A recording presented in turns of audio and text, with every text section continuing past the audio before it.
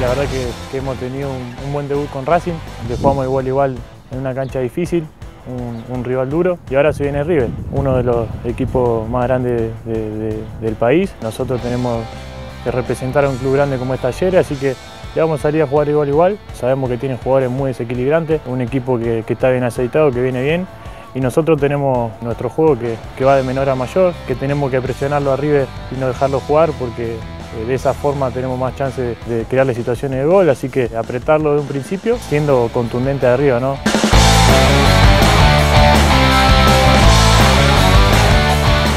Es fundamental estar concentrado los 90 minutos. Es un partido que se define con, pequeños detalles, uno en concentración se puede llegar a pagar caro, entonces de entrada uno tiene que salir concentrado, sabiendo de que no se puede dejar ningún espacio y que nosotros los espacios que tengamos los tenemos que saber aprovechar.